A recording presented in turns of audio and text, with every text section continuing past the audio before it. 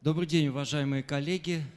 Здравствуйте. Слова благодарности за то, что вы нашли силы, время, возможность прийти к нам сюда на обсуждение очередной нашей актуальной темы, которой мы на, на самом деле говорим не только сегодня, вчера, позавчера и все предыдущее время.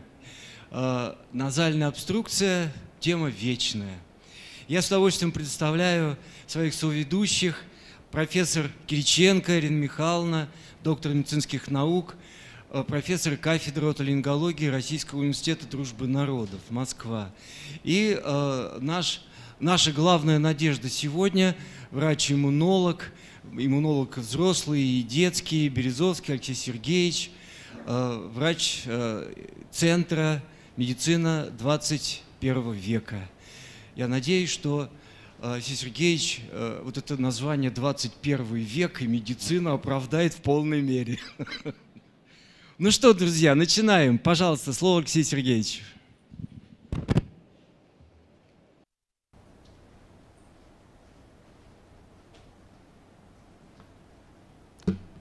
Раз, раз. Здравствуйте, уважаемые коллеги, а, уважаемые организаторы, спасибо большое за приглашение.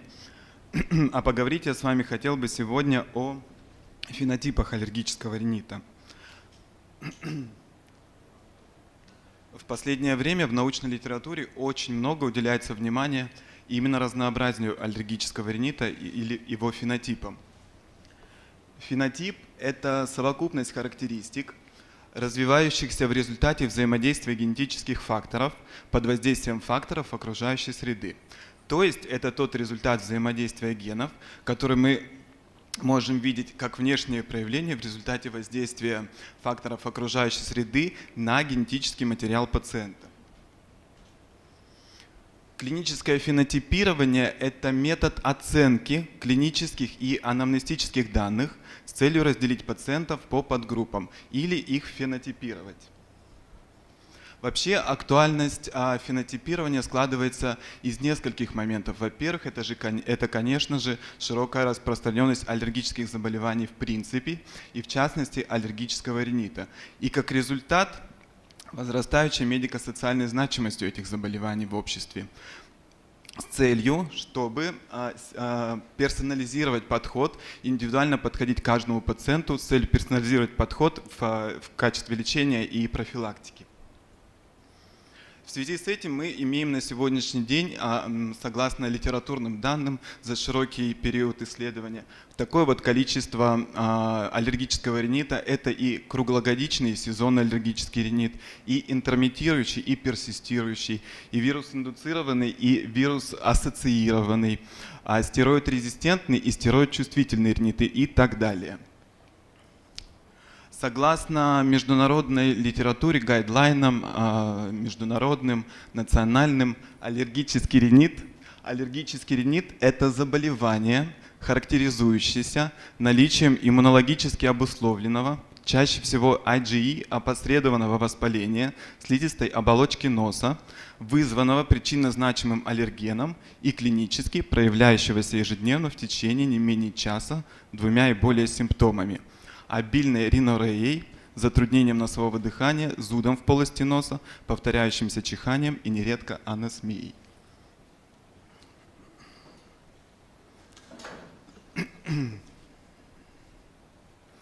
Согласно Всемирной организации здравоохранения и по прогнозам ВОЗ, аллергические заболевания к 2050 году будут занимать первое место в рейтинге самых распространенных заболеваний и будут опережать кардиологические и сердечно-сосудистые заболевания.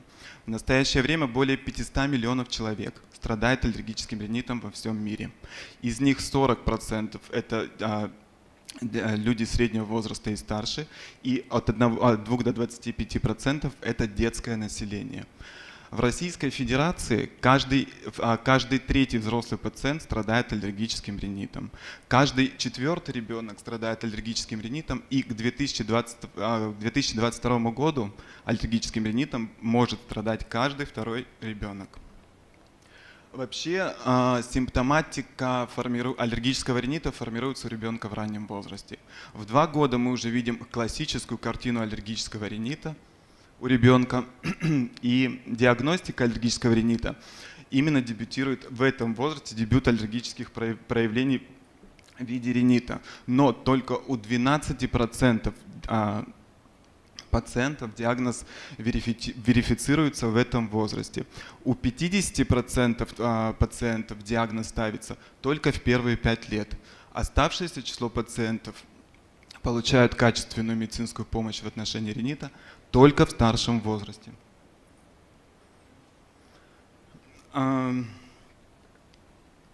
Согласно международным документам, препаратами выбора, выбора начиная со второй ступени терапии аллергического ринита являются интраназальные глюкокортикостероиды. Уровень убедительности рекомендаций А, уровень достоверности информации 1. Вторая ступень терапии аллергического ринита или легкий персистирующий ринит. А, препаратами выбора предпочтительной терапии являются интраназальные глюкокортикостероиды. Мы отдаем предпочтение этим препаратам в отличие от системных или топических антигистаминных препаратов. Третья ступень терапии или терапии или э, ринит, аллергический ринит средней степени тяжести. Э, также препаратами выбора являются интраназальные глюкокортикостероиды в комбинации с системными антигистаминными препаратами или топическими э, антигистаминными препаратами или антилейкотриеновыми препаратами. И четвертая ступень или тяжелый аллергический ринит, чаще всего в аллергологической практике это ринит, который сочетается с другой аллергологической патологией, преимущественно это бронхиальная астма, или ринит тяжелый, сопутствующий какой-то лор-патологии. В данном случае мы выбираем либо биологическую терапию, либо э, оперативные методы лечения. При выборе препарата для лечения аллергического ринита мы прежде всего руководствуемся его, его а, профилем безопасности, не только возрастом и показанием к применению. На российском рынке в настоящее время среди препаратов рекомендованных для лечения аллергического ринита а, с высоким профилем безопасности является маметазонофурат а его безопасность обеспечивается за счет низкой биодоступности. По, а, по сравнению с другими молекулами на российском рынке его биодоступность всего 0,1%. Препарат метаболизируется уже на слизистой оболочке носа, в системный кровоток всасываются неактивные метаболиты, которые не оказывают влияния на кору надпочечников и не вызывают системных эффектов, а, связанных с применением глюкокортикостероидов.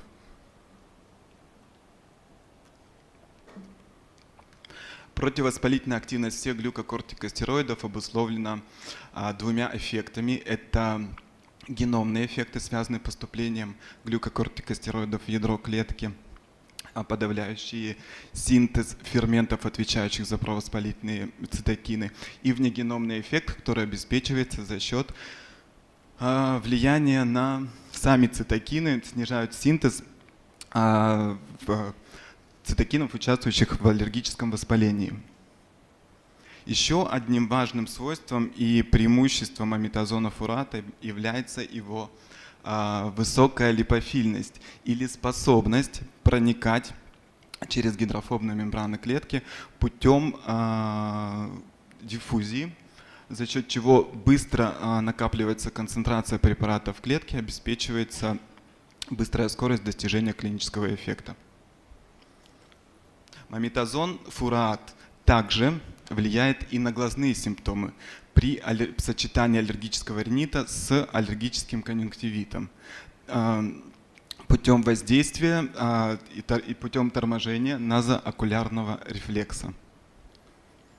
Ну вот дезринит. А, дезринит – это препарат, э, который соответствует, соответствует всем стандартам производства по GMP. Это евразийский стандарты качества. Значит, а, на этом слайде мы видим, что дезринит через две, уже через две недели использования дезринита как при э, аллергическом рините, так и при сочетании аллергического ринита с аллергическим конъюнктивитом мы видим практически 80% случаев достигается хороший клинический эффект.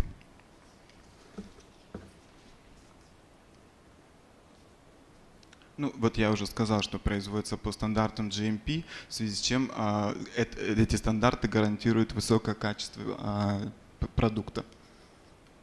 Значит, в последние годы мы достигли очень а, хороших результатов в отношении качества пациентов с аллергическим ринитом благодаря и так называемой таргетной терапии, терапии, которая ориентирована на какие-то конкретные цитокины, на цитокины воспаления, на патогенез заболевания. В данном случае это обеспечивается и, конечно же, персонализированным подходом, а, формированием, внедрением в практику д- конкретных стандартов лечения тех или иных пациентов с аллергическим заболеванием и, конечно же, а, появлением новых методик в отношении аллерген-специфической иммунотерапии, воздействия на причинно-значимый фактор причинно-значимый аллерген.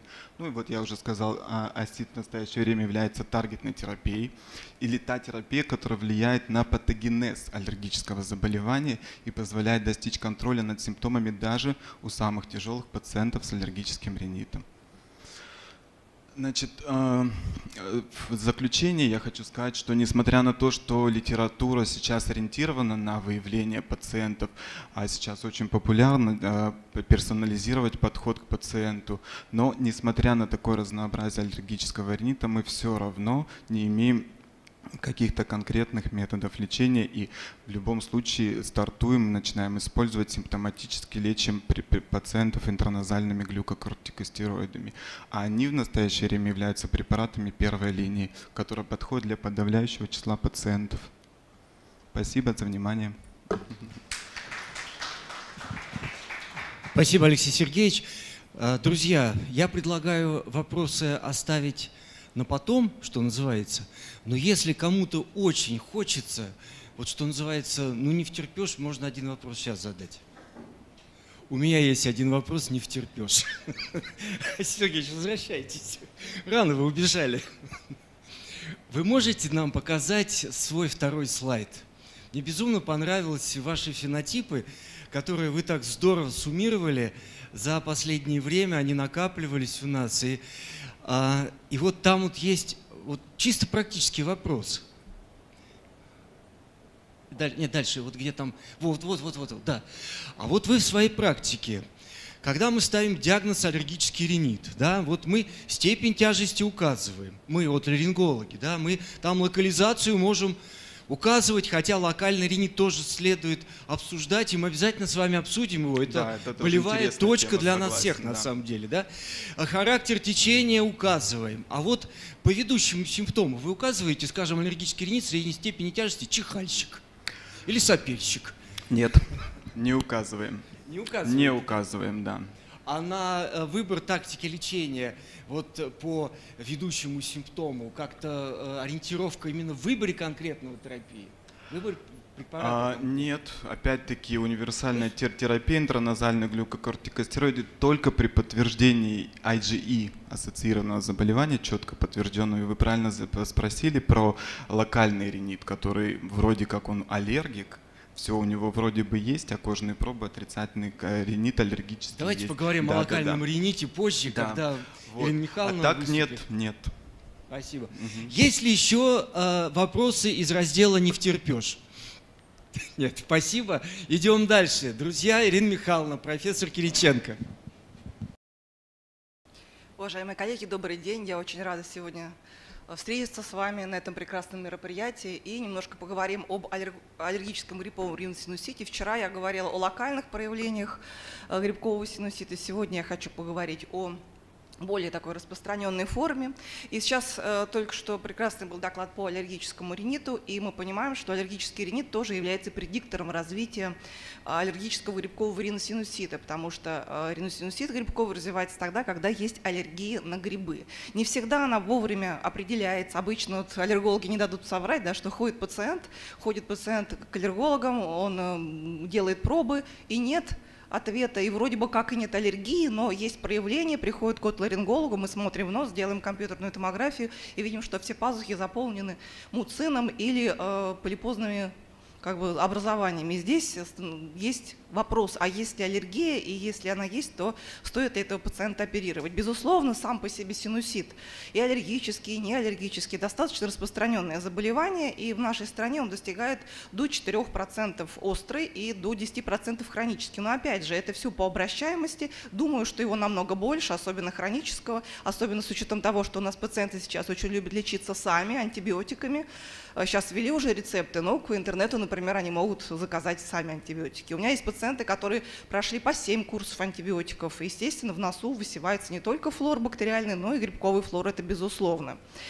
И э, сейчас э, все мы знаем, что вышел EPOS 22020, это а, согласительные документы Европейского общества лечения синусита с полипами и без полипов. И здесь э, аллергический грибковый риносинусит внесен как отдельная форма. Например, если посмотрите в нашем МКБ, вы отдельно не найдете этой формы, которая стоит отдельно. Здесь она официально прописана, эта форма. В принципе, э, в этом документе было изложено, что э, синуситы острые и хронические отличаются только сроком течения, а, собственно говоря, проявления, они достаточно стандартные. Это заложенность, выделение из носа, более ощущение давления давление в, в области лица, потери нарушения обоняния, э, общее недомогание, слабости, головные боли и э, типичные изменения крови. Но еще при хроническом синусите было выявлено, что это системный такой процесс, который связан с нарушением качества жизни, с развитием апноэ в том числе, в том числе э, с тяжелого формы апноэ. То есть здесь это заболевание рассматривается более объемно, скажем так. Да? Что нового? Собственно говоря, вот я, говорила об этом, что достаточно широкий спектр симптомов и слуховые симптомы также, нарушение функции слуховой трубы, заложенность уха, возникновение адгезивного слипчивого процесса в ухе также приравнивается к одному из возможных проявлений хронического риносинусита и э, снижение обоняния боли в области лица, а также э, передняя и задняя ринорея. Также э, внесен этот э, как бы такой пункт в определение хронического риносинусита. А, все мы видели эту табличку, сейчас она будет по-русски. А, мы видим, что здесь все синуситы делятся первичные, то есть те, которые возникают в пазухах без дополнительного какого-то воздействия, о чем мы будем говорить далее. И мы видим, что локальный диффузный синусит, и здесь мы видим, что аллергический грибковый синусит – это тип 2 воспаления, то есть это аллергический тип тип воспаления. И он одной, он может быть как локальным, да, также может быть и диффузным. А, если мы смотрим... Ой, что-то тут не то у нас. Если мы смотрим вторичный риносинусит, то есть синусит, который возникает в результате анатомических каких-то э, проблем, э, наличием инородных тел в пазухах, э, наличием системных заболеваний, таких как гранулематоз вегенера, эзонофильный гранулематозный ангиит, различных иммунодефицитов, мукоцеллярной дисфункции, в том числе при муковисцидозе, мы видим, что здесь также есть адонтогенный синусит грибковый синусит опухоли, то есть это тоже является разновидностью грибкового синусита, но только уже это локальный синусит. Если мы посмотрим по поводу распространения грибкового риносинусита, то мы знаем, что грибы были до того, как человечество появилось на Земле. Нас не будет, они останутся, они образуют споры, они очень э, хорошо приспосабливаются к тем способам лечения, которые мы пытаемся как бы их э, элиминировать из организма. И, э, безусловно, споры плесени везде. И по оценке около 10% населения мира именно страдает аллергией к плесени. Все мы знаем теплые страны, такие как Индия, да, э, страны Ближнего Востока, там достаточно распространен мукоромикоз, э, это системный микоз, я сейчас покажу такого пациента одного, у меня, к сожалению, в моей практике такой был случай, к сожалению, для пациента, потому что очень тяжелые эти пациенты, фактически ничем не лечатся. Соответственно, чаще всего э, аллергический грипповый синусит все-таки по данным авторов зарубежных встречается в возрасте более молодом, но я немножечко его поспорила, потому что достаточно много пожилых людей, но с локальным синуситом, именно с фунгилбол, с грибковым телом также встречаются. Ну, естественно, как я говорила, влажные климатические условия и низкий социально-экономический статус. Э, нарушение питания, нарушение э, иммунного обмена играет большое значение в возникновении такого рода синуситов. А, когда мы видим полипы в носу, мы должны понимать, какой же это синусит. Но чаще всего это просто полипозный риносинусит, но для того, чтобы определить, конечно же, мы можем э, на скидку прикинуть, да или нет. Полипы будут и в том, и в другом случае. Возраст пациента. Ну, полипозный риносинусит может быть в любом возрасте. Э, грибковый чаще до 30 лет. Естественно, эм, иммуноглобулины Е в зависимости, в сыворотке будут определяться в зависимости от атопического статуса. Например, если в данный момент есть какой-то аллерген, и он стимулирует иммуноглобулины Е, они будут высокие. А вот характерная особенность аллергического рековери синусита, что будет достаточно высокий уровень иммуноглобулинов Е. При том, что, возможно, сразу аллергена не будет найден. Такие пациенты, я думаю, к вам встречались. То есть приходят тысячи, у меня были полторы тысячи иммуноглобулины Е, а э, аллерголог говорит, аллергии выявлены ни на что не было. Вот это, скорее всего, грибы.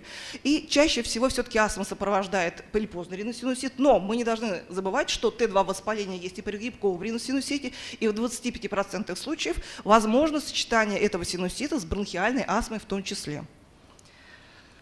А, как я уже сказала, тип воспаления – это Т2 воспаление.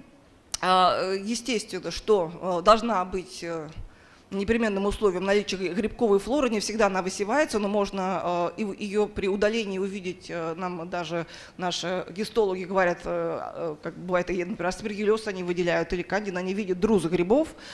Безусловно, есть гиперчувствительность именно, именно грибковым антигенам, и если посмотреть, то исследовались гены нашими зарубежными коллегами, и они увидели, что разновидность экспрессии генов э, у больных с эриносинуситом полипозным примерно, видите, практически в тысячу раз меньше, чем у э, аллергического грибкового синусита. То есть это говорит о том, что возможность стимулировать Т2 клетки иммунная система у больных с грибковым риносинуситом имеет в тысячу раз больше.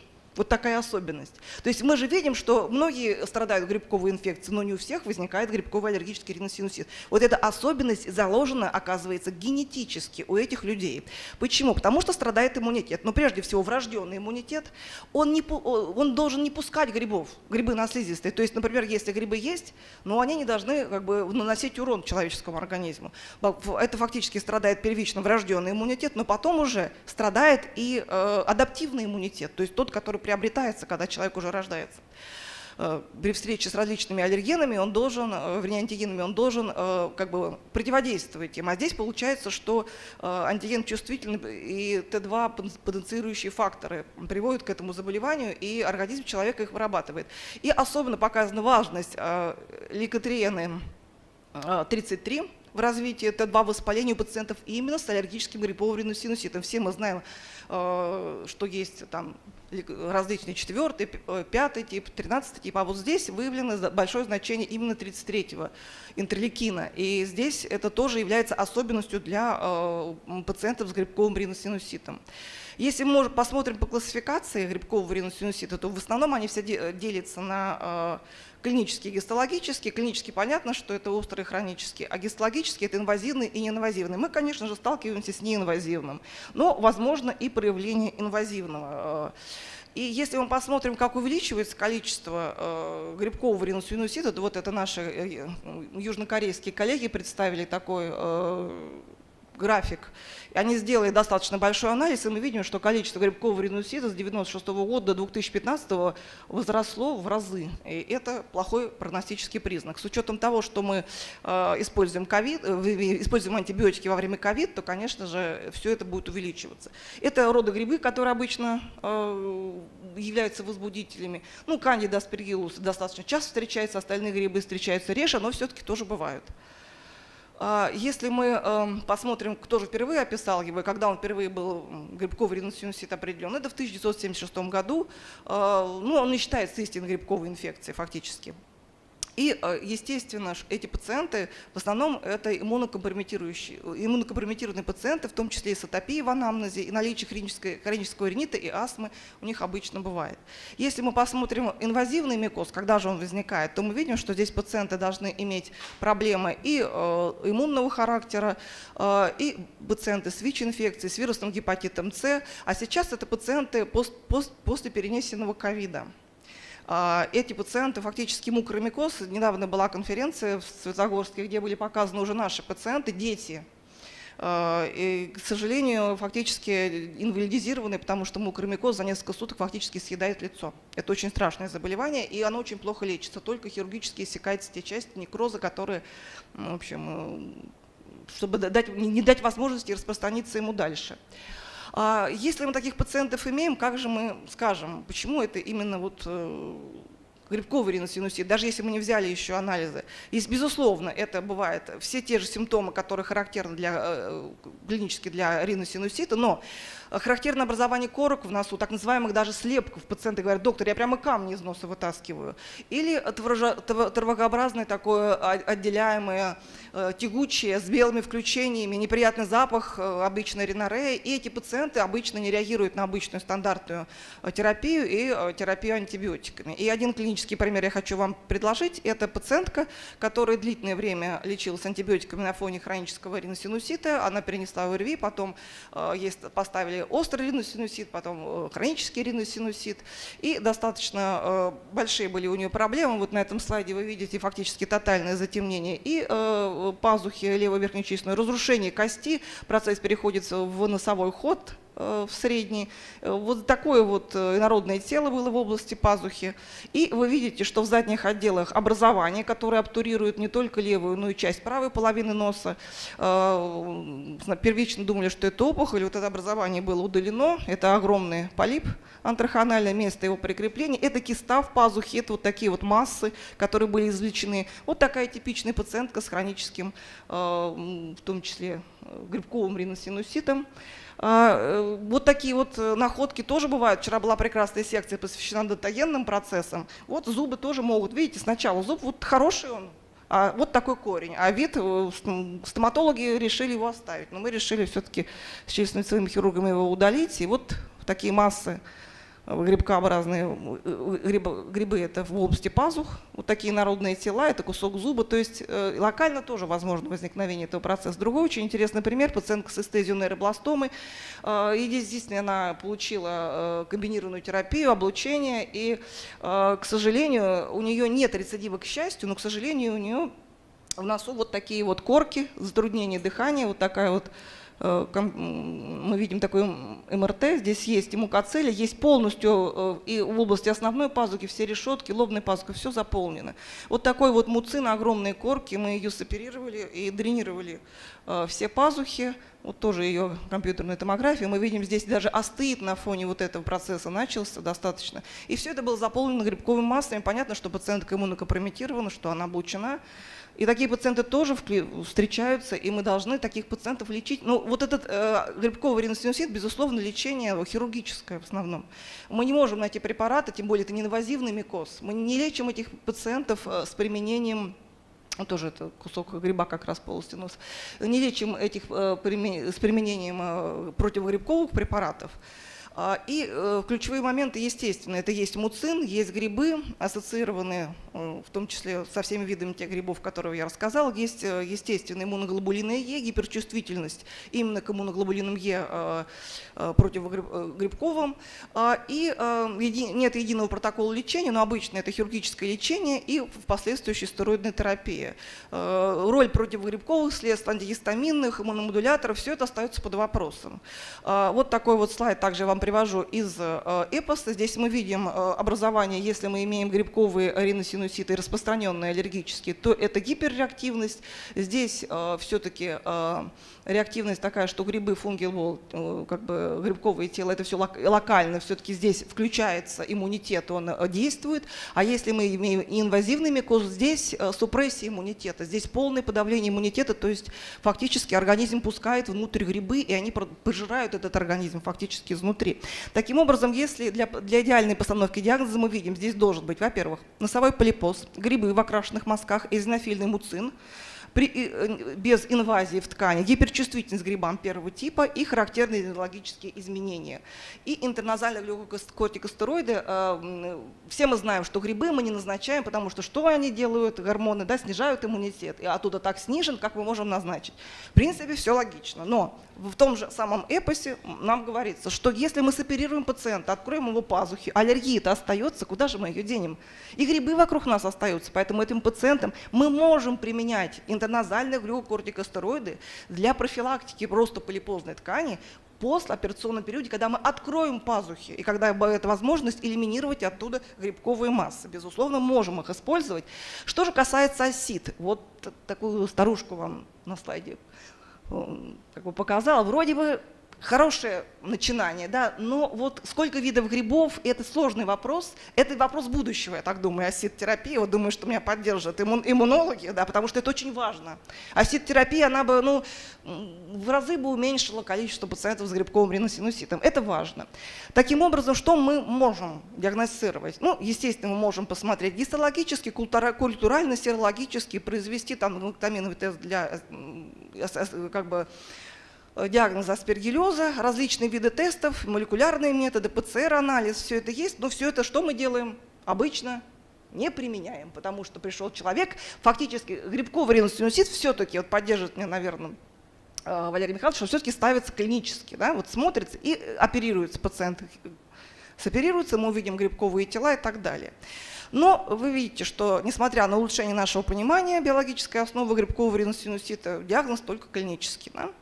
И мы все знаем, что мы применяем интерназальные глюкокортикостероиды при полипозном риносинусите. Это уровень А, в том числе и у детей, и у взрослых.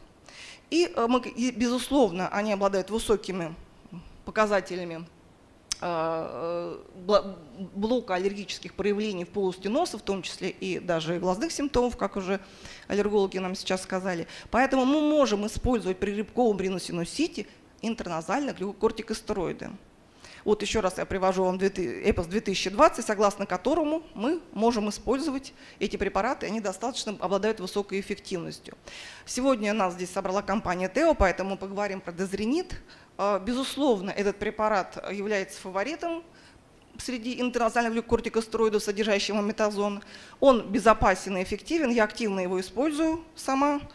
А, и считаю, что а, этот препарат достоин быть одним из первых. Безусловно, и дозировка, и достаточно э, удобное применение этого препарата делает его э, достаточно комплаентным, и цена, безусловно. Так, прошу прощения. Все мы знаем, что э, молекула этого препарата работает не только в полости носа, но и попадает в пазухи, может применяться у детей с двухлетнего возраста, и это очень важно. Сейчас очень много у нас пациентов с проблемами аллергического характера у детей. Все это возросло в разы, к сожалению.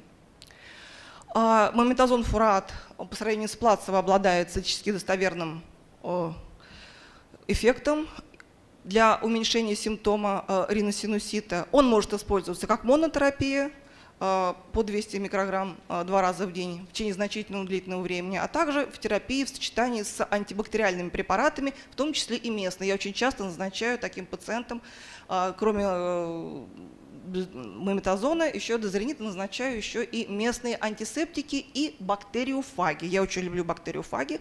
А, вы скажете, а что же бактериофаги? Как же так, да? Вот вроде бы они на вирусы действуют, но вы не забывайте, вернее, это вирусы, они действуют на бактерии, они не действуют на грибы, но вы не забывайте, что они улучшают что? Микробиом. А микробиом улучшенный, нормализованный, куда подвигают грибы к выходу. То есть они все-таки, это, э, ну это отдельная тема, микробиом это вообще такой вот тема, которая, я не знаю, может быть, наверное, часами это поговорить. Это очень интересно, это очень перспективно. Сейчас активно проходит развитие этого направления. Я думаю, что мы еще встретимся и поговорим о микробиоме. А, и э, я считаю, что все нужно делать взвешенно. Все пациенты должны если есть необходимость оперироваться, если есть необходимость э, этого пациента не оперировать, то значит нужно его наблюдать. И что я хотела бы еще призвать к вас, вот, э, к такому, обязательно таких пациентов наблюдайте. То есть у них может быть рецидив. В, от 8 до 14 процентов э, пациентов приходит с рецидивом грибкового, грибкового риносинусита, особенно если касается это локального риносинусита, ну, в том числе и э, аллергический процесс идет, рецидив может быть, э, обязательно нужно наблюдать таких пациентов длительно и длительно назначать им интернациональные кортикостероиды. И, безусловно, аллерголог должен также участвовать в лечении этих пациентов. Большое спасибо за внимание. Если есть вопросы, я отвечу вам. Друзья, ну один насущный вопрос, остальное уже после завершения э, выступлений всех авторов. Да. Ирина Михайловна, готовьтесь, потом поговорим тогда. Я анонсирую себя, еще одно выступление в рамках нашего симпозиума.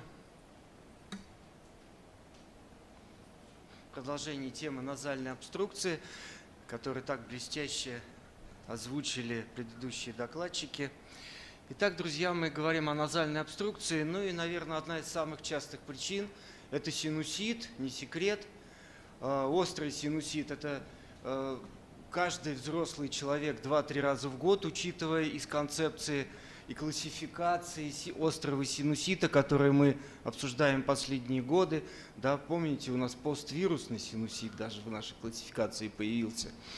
А, ну и применительно к хирургическому лечению здесь говорить особо нечего. В отношении острого синусита дренирование пазух никто не отменял. В России это один из главных методов. Способы дренирования различные, либо это пункция, никуда она не делается, либо это дренирование при помощи ямик катетеров, причем э, память Сергея, память Владимира Сергеевича Козлова, э, он успел выпустить новую версию ямика – Э, буквально три года назад и за год до своей гибели. Э, многие из вас уже попробовали, есть определенные преимущества у такого метода лечения. Э, но вот как, все-таки, когда мы говорим о хирургическом лечении, то, конечно, это все-таки хронический синусит. И я напоминаю известную, известное разделение, опять-таки фенотипы, да, то есть клинические проявления этого заболевания с полипами или без полипов.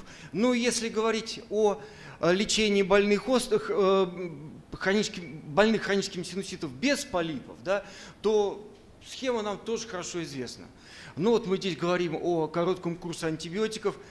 Остро, обострение хронического синусита, напоминаю, коллеги, лечится по принципам острого процесса. А вот вне обострения закончилась острая ситуация, ликвидировалась общая симптоматика, а местная никуда не ушла – или она через какое-то время вернулась. Вот что делать с этими пациентами, как их вести по жизни. И здесь очень много на самом деле моментов, которые требуют дальнейшего обсуждения. Ну вот знаменитый короткий, э, короткий знаменитый э, половинчатый курс макролидов, длительный прием антибиотиков. И эта тема в России и в мире до конца не решена. У нас есть идеологи, яркие э, авторы, которые считают этот метод ведущим, главным, но он в наших рекомендациях пока не нашел такого доказательного обоснования. И в мире, кстати, пока не дошел. Да, поэтому мы говорим о нем относительно. Деконгестанты, понятно, э,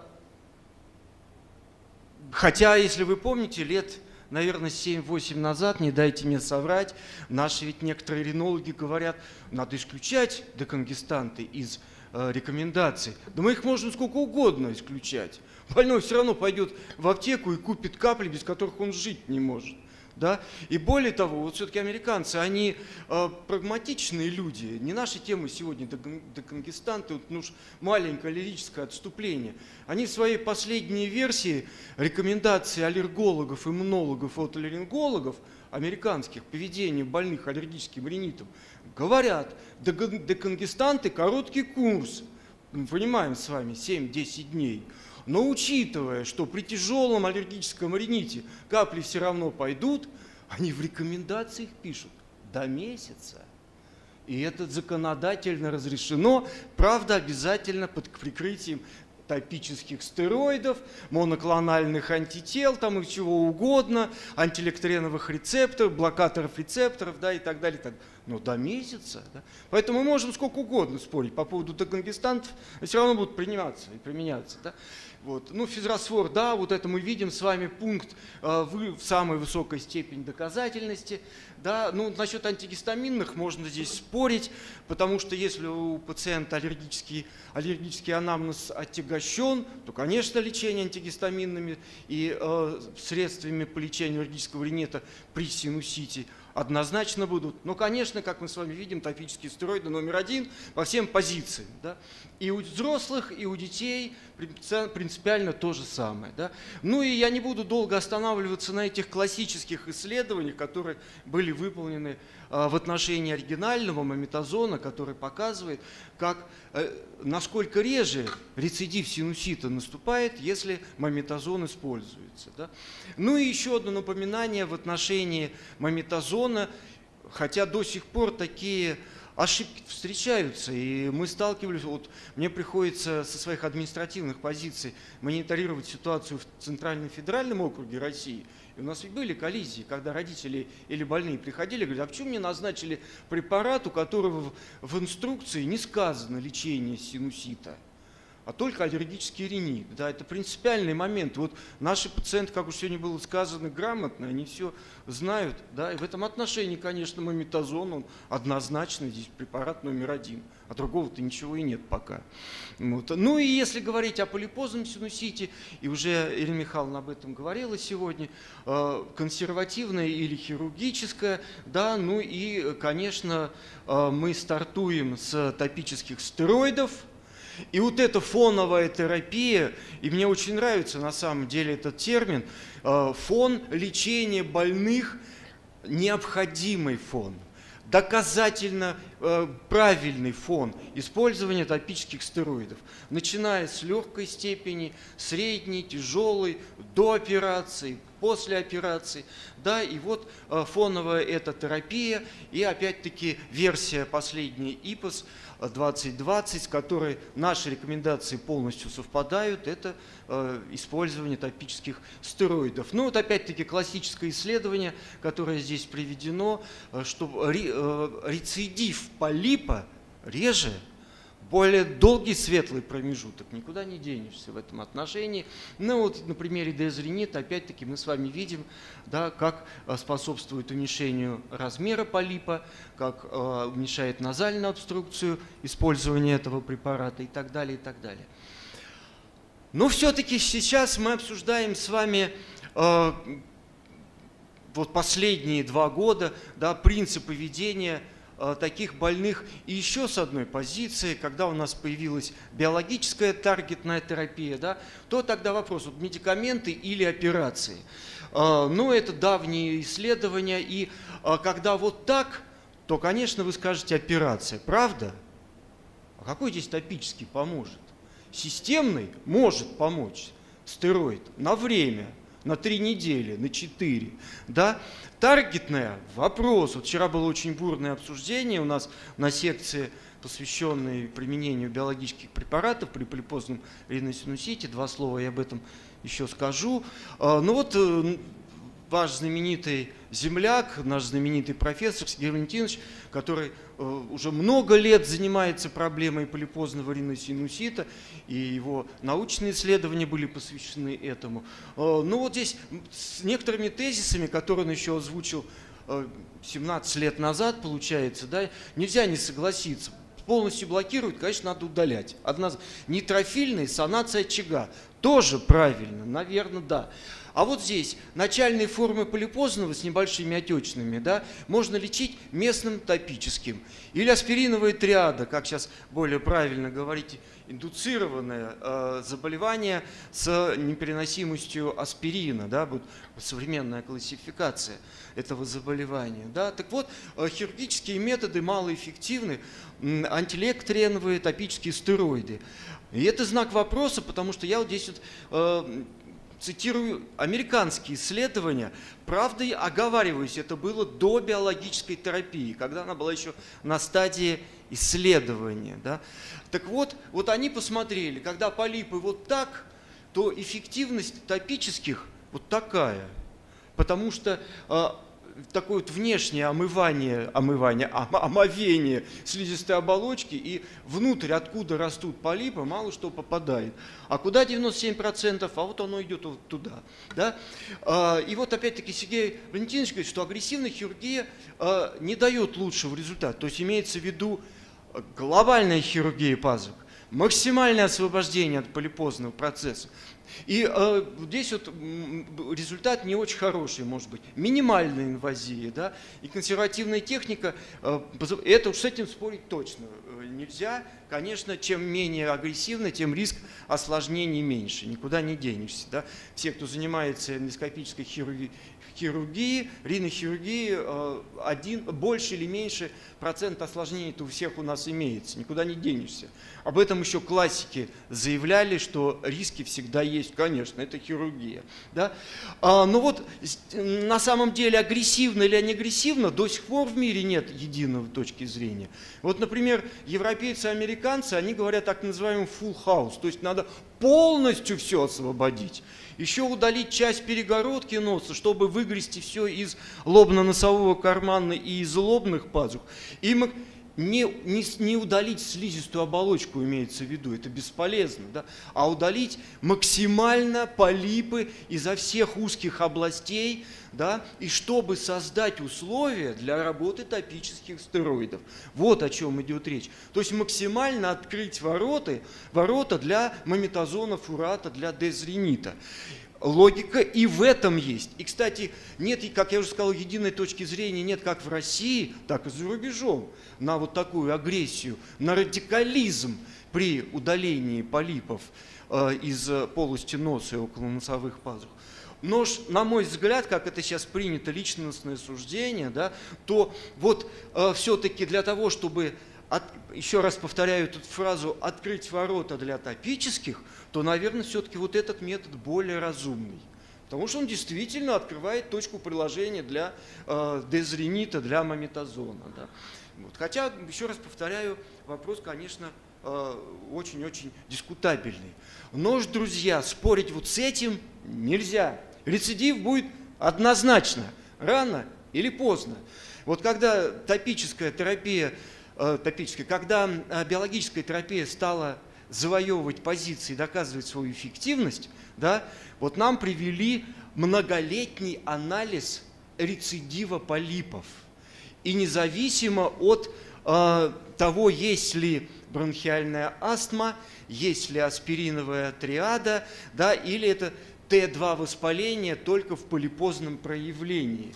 Рецидив в среднем через 6 месяцев и по полипам, и по обструкции, и по ринореи, постназальному затеку, и самое главное, по рецидиву снижения обоняния. Вот посмотрите, уже через три месяца начинает обоняние ухудшаться, а через полгода они почти все к нам приходят и говорят, типичная ситуация для нас, во всяком случае, для Москвы. Я думаю, что для Питера, для всех других регионов то же самое. Они приходят и говорят, доктор, я уже сто лет так не дышал, это такое счастье, у меня поток воздуха, но у меня жизни нет. Обоняния нет, вкуса нет, вернее, вернулись на три недели, на месяц, да, а потом все опять э, в обратную, что называется. Да? И вот э, сейчас мы вынуждены говорить об обонянии как одном из главных критериев эффективности как хирургического, так и консервативного лечения этих пациентов. Да? И, конечно же, если есть астма, если есть непереносимость НПВС, то рецидив всех симптомов гораздо быстрее и частота хирургии однозначно увеличивается. А э, светлый промежуток все становится короче и короче. Вот они эти данные. Да? Вот эта длительность светлого промежутка только когда одно Т2 без, поли, без астмы и э, непереносимости, это астма, а это МПВС. Ну как быстро. И вот здесь вот по количеству операций. Никуда не денешься. Так работает Т2 воспаление в этом отношении. Да? А вот по стероидам. Ну вот в России э, до сих пор стероидная, стероидная боязнь. Системные стероиды э, назначаются очень неохотно нами. Да?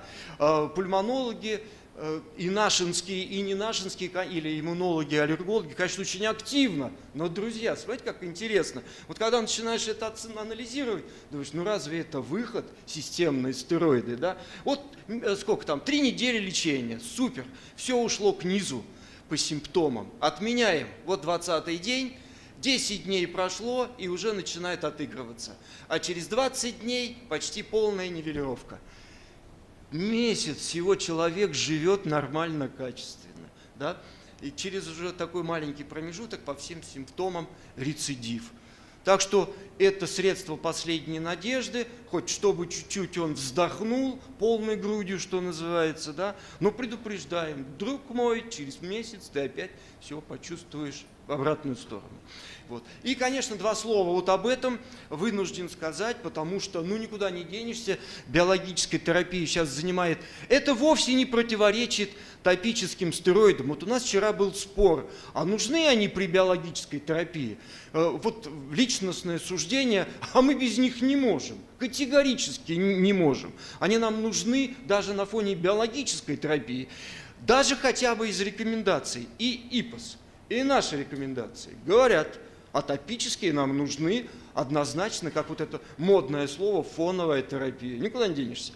Да, ну и вот у нас пока только два, напоминаю, Мализумаб и Дупилумаб. Дупилумаб был первым, но вот, э, я уже говорил вчера, наша клиника занималась так же, как Санкт-Петербург, не болезнью горла носа, а две клиники в стране, которые, в стране, которые начали изучать в рамках Синус-24 и Синус-52, вот такие исследования были, да, это Дупилумаб, Дупиксент, да, и, конечно, это бомба препарат-то на самом деле, вид лечения просто супер, да, а, но, друзья, я напоминаю, здесь ограничения по критериям. Не каждый больной полипозным бринным синуситом сюда подойдет.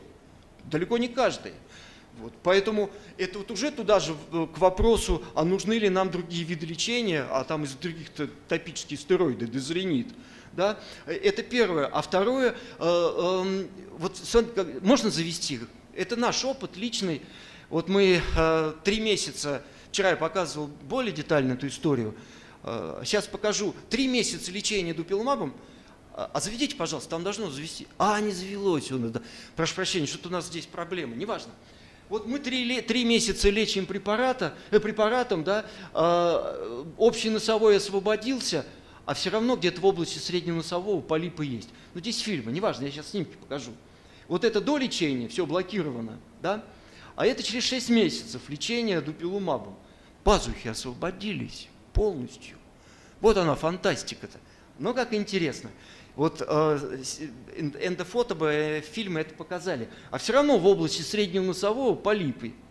Маленькие э, или не маленькие, вот здесь побольше, здесь поменьше, э, фиброзные, плотные, и они никуда не уйдут на дупилумабе. Никуда. Особенность их строения, соединительная ткань. Да?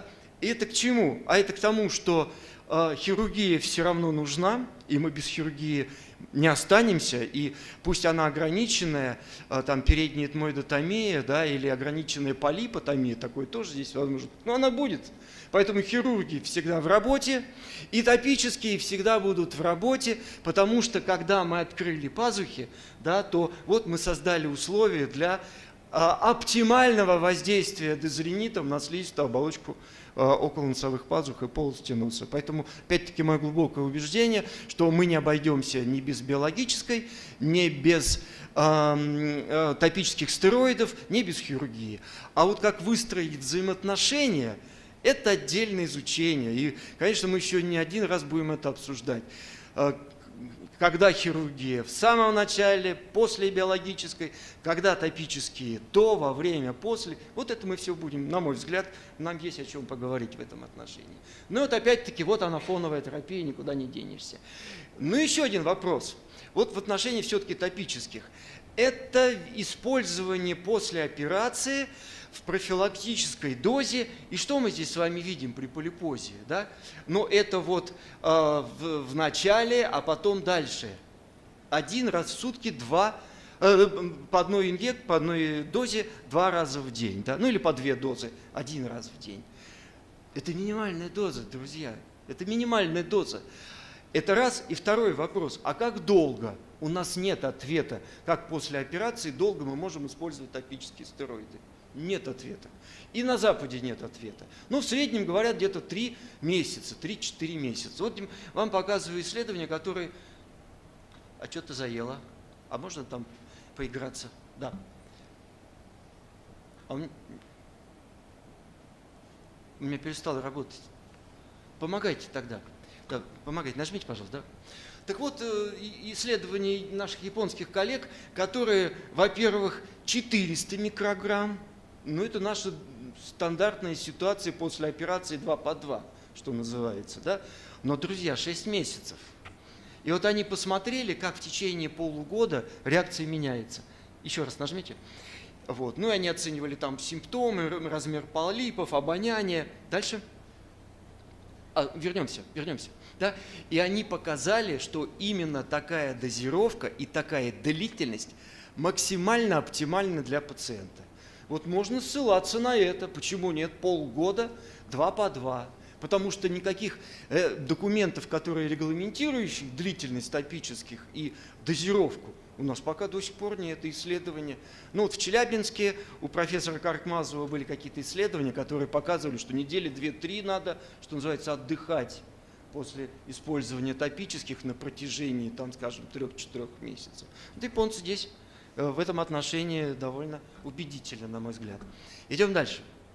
Следующая составляющая, о которой мы сегодня много говорим, э, я продолжу рассказ именно применительно к э, хирургической коррекции. Я позволю себе напомнить вот эту схему, и вот она мне очень нравится, потому что посмотрите, какой объем хирургической помощи у больных аллергическим ринитом. Минимальный. Идет речь о воздействии именно на нижние носовые раковины как цель хирургическое воздействие. Да? Не на другие структуры, а именно на нижние носовые раковины. И это все понятно, потому что вот эта знаменитая фраза «А хирургии нельзя обеспечить стойкую коррекцию, стойкое улучшение при специфическом иммуноглобулин И воспалении, так оно и есть. Спасибо. Ну и если напомнить друг другу эти плюсы, да, то у нас, собственно, либо антигистаминники, либо топические стероиды, да, потому что плюсы по всем симптомам. Все остальное очень ограничено в этом отношении. Но опять же вспоминаем дезринит э, применительно к аллергическому риниту и видим минус симптомы при лечении, да, и э, качество жизни здесь отражается, ну и ступени, которые уже сегодня звучали. Но, друзья, вот этот момент. И я задаю этот вопрос нашим коллегам-аллергологам. А почему, собственно, хирургическое лечение и, лечение чего на четвертой стадии? Да? Вот здесь явно требуется оговорка.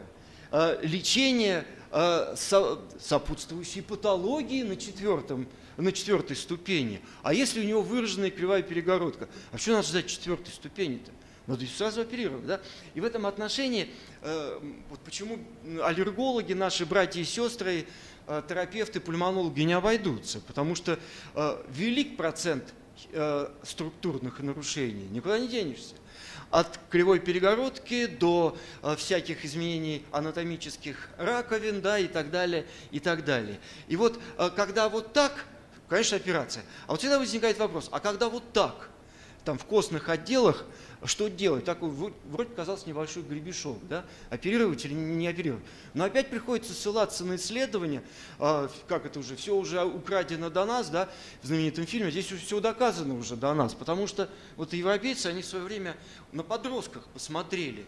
Во-первых, смотрите, как часто деформация передних отделов у больных аллергическим ринитом, да, и как часто а, костная деформация, даже пусть небольшая, а, задних отделах. И они говорят нам, что вот если это так или так, то эффективность топических средств резко уменьшается. Резко уменьшается. И какой вывод они делают? Они вот делают однозначный вывод. Нужна операция независимо от ступени. Более того, чем раньше мы эти структуры, сопутствующие патологию, как там написано, да, Василий Сергеевич, это вам, это не упрек, это наше обсуждение с вами, да? Так вот, перегородку надо оперировать э, для того, чтобы повысить эффективность топических средств. Я про системное здесь не говорю. Да? Ну или еще один момент. Мы с вами прекрасно помним, что аллергическая составляющая увеличивает процент храпа и апноэ, как у взрослых, так и у детей. Но если у детей это в основном аденоиды с аденоидитом, аллергическим э, компонентом, да, то у взрослых чего там только нет. И смотрите, какой большой процент на уровне носа и носоглотки. И поэтому мы говорим, а если пациент храпит, и у него высокая степень апноэ и аллергический ринит, и мы видим определенные изменения, как у взрослых и у детей. А я напоминаю, СОАС, храп, аденоиды и аллергический ринит – этой ситуации, которая требует очень быстрого хирургического разрешения у детей. Конечно, с заключением педиатра, конечно, с заключением аллерголога. Но вот э, всегда вспоминаю случай, когда ребенок в Подмосковье, неважно в каком месте, несколько лет назад, опять-таки мне пришлось мониторировать эту ситуацию с административных позиций, просто задохнулся ночью на фоне храпа, апноэ, аллергического ринита, аденоидов второй, третьей степени. Ну, даже там, не, не третья, а вторая была с отеком. Вот так, никуда не денешься. Поэтому и был жуткий скандал с разбирательством, оправдали доктора, нашли оправдательные моменты, но это было очень непросто на самом деле. Так что и об этом тоже нам приходится с вами думать. Да? Ну и все-таки несколько слов о нижней носовой, когда она является целью. И всегда возникает вопрос, когда? И здесь мы уверенно вторим нашим коллегам и говорим, когда мы все ступени прошли, и когда консервативные методы лечения оказались малоэффективны, неэффективны в плане назальной обструкции и ринореи, особенно назальной обструкции, потому что именно назальная является главным болевым моментом для пациента, потому что они не дышат, поэтому они подсаживаются на литры деконгестантов, никуда не уйти. Да? Ну и здесь в этом отношении опять-таки исследования были, в данном случае опять демонстрирую японцев, которые э, э, хирургические лазеры при назальной обструкции у больных аллергическим ринитом проводили исследования и показали, что воздействие в подслизистом слое на задние концы нижних носовых работает отлично – Потому что вот эта суцилдогидрогеназа, которая обусловливает отек и ринорею, здесь еще и холинестераза, и вот это до, а это после лазерного лечения. Уменьшается количество вот этих активных составляющих, вызывающих обструкцию и ринорею. И поэтому авторы делают вывод, хирургия может быть полезна в этом отношении. Да? плотная фиброзная строма, которая, кстати, ограничивает кровоснабжение, и вот, собственно, э, расширение и улучшение. Э, и способов очень много, не буду, мы много с вами обсуждали уже, и каких здесь только способов нет, и механических, и на Западе даже, кстати, химические до сих пор используют. Но вот ваш покорный слуга является ярым сторонником высокоэнергетических способов, да и то не всех. Да? А, вот скажем, вот это вот уже, на наш взгляд, не очень эффективно, это слишком э, грубо, да, поэтому что-то вот из этой вот из этой серии, да. Э, но мы с вами понимаем, что любой, даже высокоэнергетический способ, к сожалению, не обеспечит долгую, долгий успех, долгий светлый промежуток. Но в среднем говорят нам о 30, 33 месяцах, тоже спорный момент, иногда через полгода все уже нивелируется опять-таки. И еще раз повторяю этот золотой стандарт, потому что скальпель не может обеспечить стойкого эффекта при иммуноглобулин И обусловленном воспалении. Хотя эффект 100% будет. Все дело в длительности. А, ну, вот как раз то, что я и говорил. Ну и последняя составляющая в моем сообщении, не аллергический ринит, да, и чего здесь только нет. И он чаще всего, конечно, а, медикаментозный, потому что эти пациенты а, подсаживаются, как я уже говорил, на капли, и, и этот ринит чаще всего становится смешанным медикаментозный плюс что-то еще. И это совсем сложная ситуация для лечения. Да? Ну вот какой процент да, смешанные формы. И, кстати, я заодно уже напомню, друзья, что мы потихонечку привыкаем к новой классификации, к новому, к новому наименованию. И сейчас мы говорим не о медикаментозно, а о лекарственно-индуцированном рините. И аббревиатура очень красивая, ЛИР, и она легко запоминается. Вот иммунологи нас уже говорят, да хватит вам старьем пользоваться, пользуйтесь новыми терминами в конце-то концов. Да? Ну, мы привыкаем, извините, в этом плане. Да? Ну, мы с вами не будем долго здесь о патогенезе говорить, он нам с вами понятен. И тахифилаксия, и рикошет, и почему удлинение э, увеличение объема жидкости этой. Да?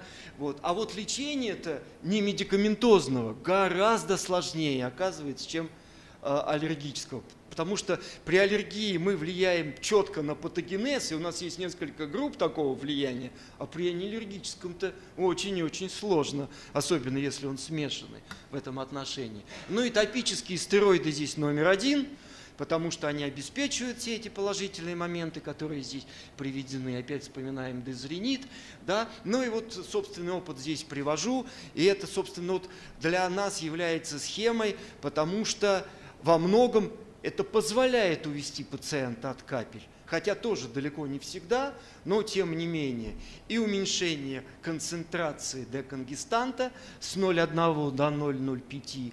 И обязательное использование чистого варианта без экципиентов. И это очень важный момент, потому что любой экципиент может усиливать э, реакцию слизистой в плане э, поддержания вот этого самого лекарственного индуцированного ринита. Очень важный момент – постепенное снижение дозы и кратности, и этот процесс иногда занимает до двух месяцев. До двух месяцев. Потому что скажи ему брось и используй только дезринит, он не сможет, как мы понимаем с вами. Да? Поэтому постепенно – так кратно, да? Ну и, конечно, заместительная терапия и вот отсутствие эффекта. Ну и вот опять-таки собственное наблюдение, э, которое, может быть, вы уже слышали, но оно очень яркое, позволю себе повторить. Парень 27 лет пришел ко мне, у которого вот этот самый лир, да, и он использовал до 32 раз в день. Вот до него у меня самое, у каждого есть свои рекорды, у меня был 22 раза за сутки. Когда он сказал 32 раза за сутки, он вставал раз 5-6 за ночь, чтобы закапать капли. Там еще такая интересная ситуация. Он сын каких-то известных дипломатов, они долгое время жили на Кипре по работе отца. Аптеки Кипра отказывались им продавать эти лекарства. Потому что такое вообще там десяток пузырьков ежедневно. Отец договорился, и самолеты аэрофлота ему ежедневно привозили вот такие вот пачки Э, этих деконгестантов. Вот попробуй его уведи с 32 раз э, всеми принципами, которые там раньше мы с вами обсуждали. Да, конечно, нет. Мы увели его где-то до 5-7 раз в день, и это уже была победа, а потом все равно хирургическое лечение в этом отношении. Да? Но и лечение это очень разнообразно. Это мы только в астомию делаем разными способами, а на Западе там и э, эндоскопическая видеанатомия, и резекция переднего решетчатого, и блок клиновидно-небного ганглия, да, и некоторые из них очень травматичны, хотя современные способы позволяют этот риск сухости, сухости глаза, да, корок и так далее свести к минимуму, но все равно риски здесь существуют. Вот, а главный принцип хирургии же тоже, да, не навреди, поэтому все относительно. Но демонстрирую один из последних. Ирландцы год назад нам показали этот метод, да, когда вот такая вот штуковина вводится в полость носа, устанавливается на, в области задних концов нижних, носовых, нижних и средних носовых раковин и однократное воздействие при помощи определенных доз э, радиоволны. И вот они считают, что ну, просто отличный вариант лечения, помогает, не знаю. Это, наверное, что-то такое усредненное между хирургией и манипуляцией. Э, пока это все реклама. Но уж очень они зазывно свои преимущества показывают. Посмотрим. Вот мы уже озадачились. Дальше будем смотреть, как это все будет развиваться. Ну и после операции, к сожалению, все равно, или к счастью для э, компании Тева, все равно дезренит используется. Потому что, э, опять-таки, если он даже 7 раз в день капал, или 3 раза в день, после операции на фоне отека, воспаления хирургического, да, ему все равно надо помогать. Поэтому без топических мы в любом случае не обойдемся. Все, спасибо. Спасибо, Валерий Михайлович. У кого-то есть вопросы к Валерию Михайловичу? Валерий Михайлович, вопрос есть к вам. А вопросы, наверное, ко всем, Или... Нет, нужен микрофон.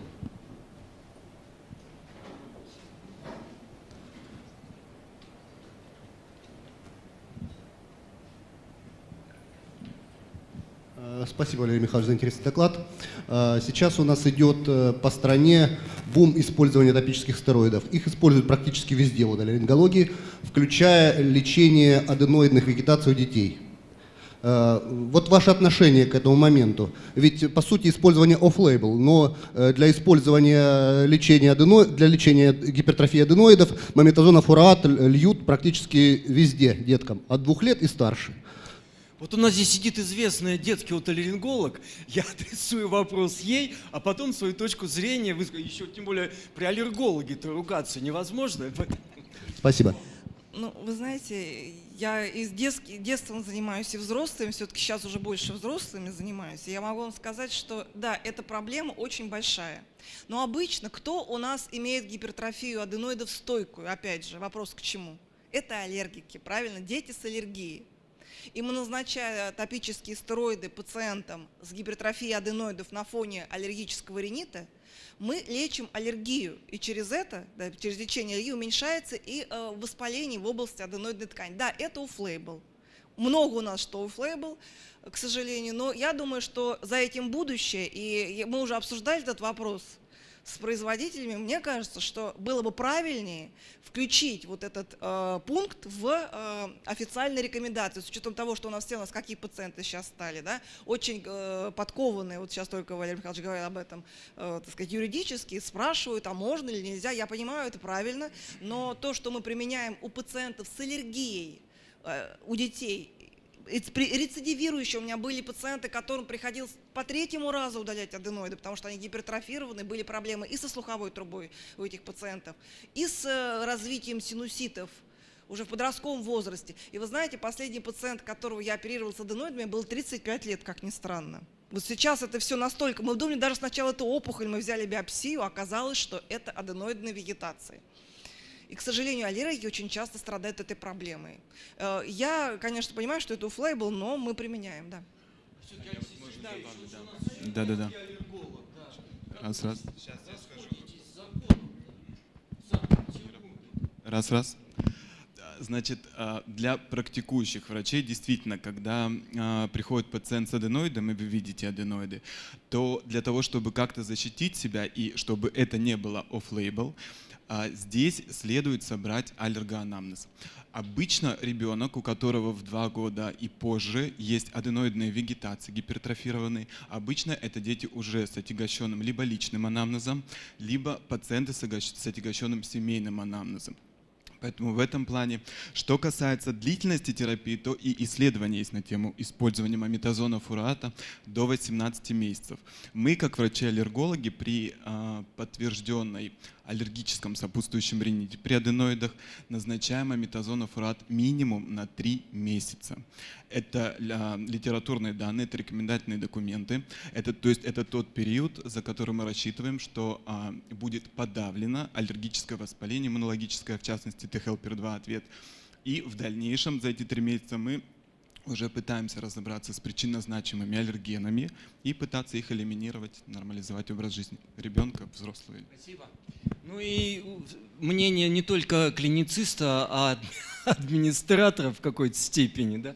Друзья, мы все равно должны себя страховать в этом отношении. И э, вот для того, чтобы, не дай бог, какие-то юридические коллизии не возникли, как, какой выход оффлейбл? Это три подписи. Ваша, заведующего и кого-то из администрации. Вот, вот лучше здесь перестраховаться и три подписи.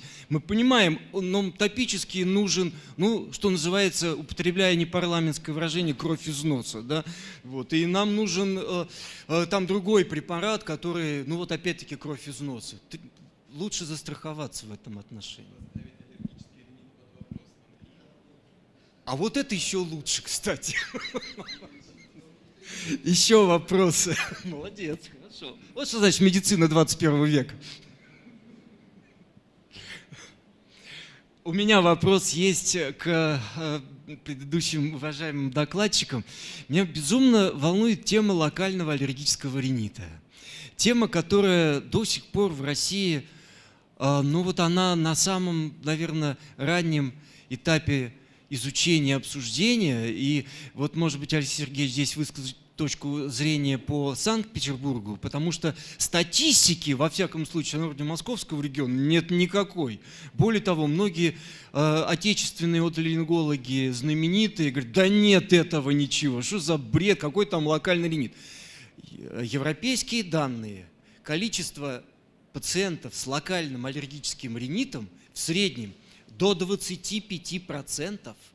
И это чаще всего те пациенты, которые сидят на каплях, а у них системной аллергии нет. Напоминаю, чем отличается локальный от системного?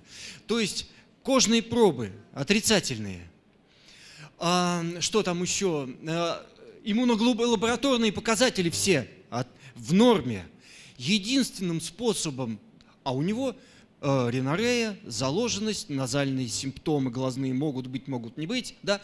Единственный способ, который выявляет локальный аллергический ринит – это назальные провокационные тесты, которые в Москве выполняются, ну, может в единичных учреждениях. Поэтому я говорю за свой регион, что называется, этот э, ринит до сих пор пропускается. Ваша точка зрения?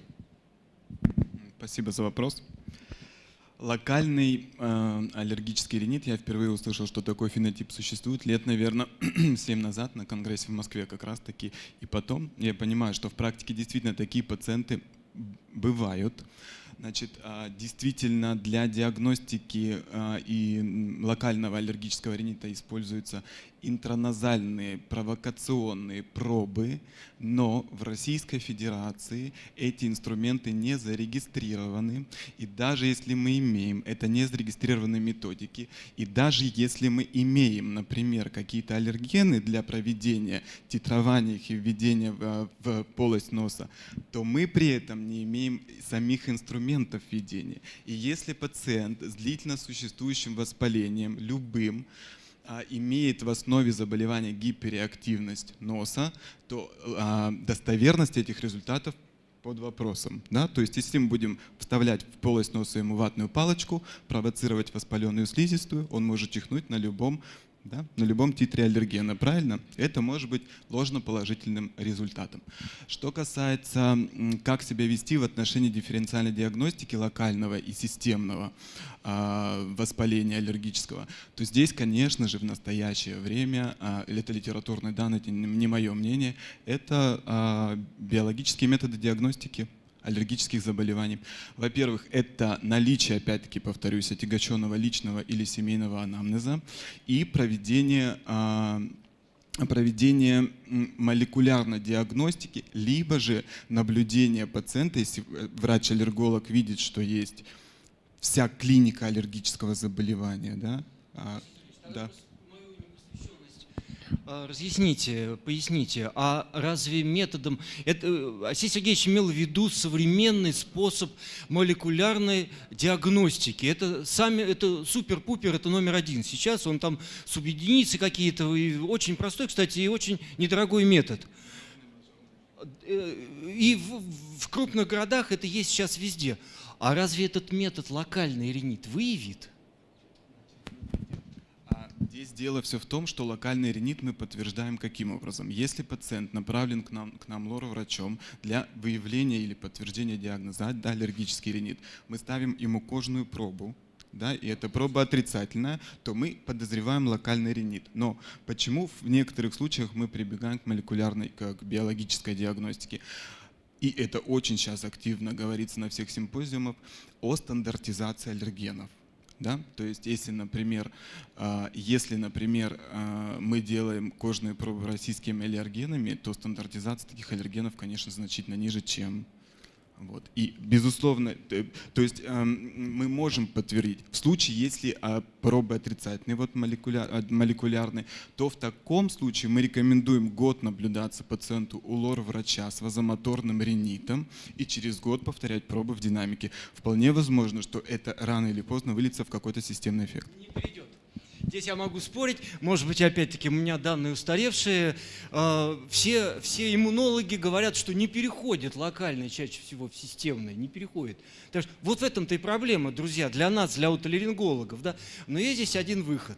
На самом деле принцип лечения локального ринита, он абсолютно такой же, как и лечение системного аллергического Э, заболевания аллергического ринита. Поэтому это те же э, блокаторы лейкотриеновых, это топические стероиды, да, это антигистаминики топические системные, и это осид, в конце концов, да, хотя как осид, если у нас и не к чему осид-то, да.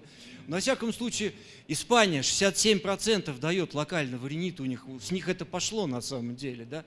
Вот еще одна болевая точка, которая, ну так давайте регистрируйте уже назальный провокационный тест.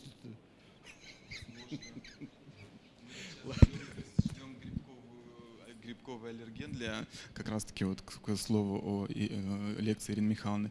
Вот сейчас мы ждем, кстати, и вы сказали, что кандида аспергиллюса много, распространенность очень высокая. Действительно так, но у нас в городе очень много встречается альтернарий. И почему-то в России первая плесень будет зарегистрирована, то есть она, я так понимаю, зарегистрирована и будет уже введена в эксплуатацию в 2022 году.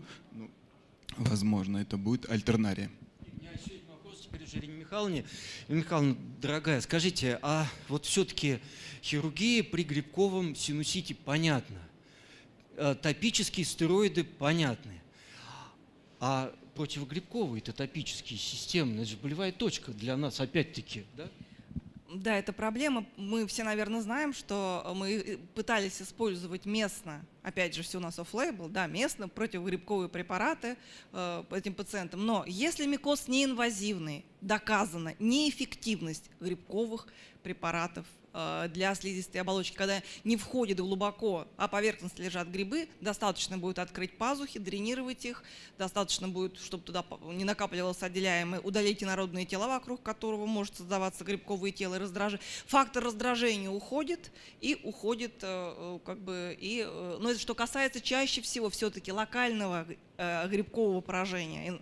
А если микоз аллергический, мы говорим об а, аллергическом риносинусите, если есть аллергия к грибкам, безусловно, аллергия присутствует, и грибы могут опять провоцировать, опять же, рост полипов. Но все-таки хирургический метод лечения, он основной а уже назначение, тяжелые препараты противогрибковые, ведь не всегда кандида, вот сейчас только что говорила Алексей Владимирович, что кандида редко, не так часто, все-таки часто аспер- аспергиллы и другие виды грибов, те же самые альтернарии. То есть получается, что э, флюконазол наш, а как бы, ну, которому чаще всего используют, скорее всего, не подействует, а он просто как бы, ну, цитохром С в печени напряжем, и все, на этом все закончится. То есть помощи не будет пациенту. И тяжелые формы микозов инвазивные – это уже лечение стационарное. Так что э, в нашей практике, вообще в мировой, я просмотрела сейчас вот за, э, буквально вчера только в PubMed смотрела количество публикаций за последнее время э, по лечению грибковых риносинуситов, их более 600, то есть достаточно большой интерес.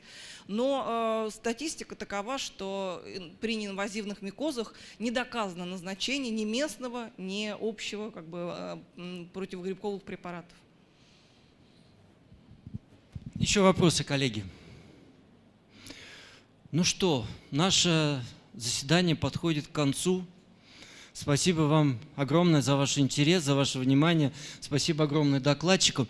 О времени и дате следующего заседания, как это в знаменитом фильме «12 стульев», будет объявлено особо.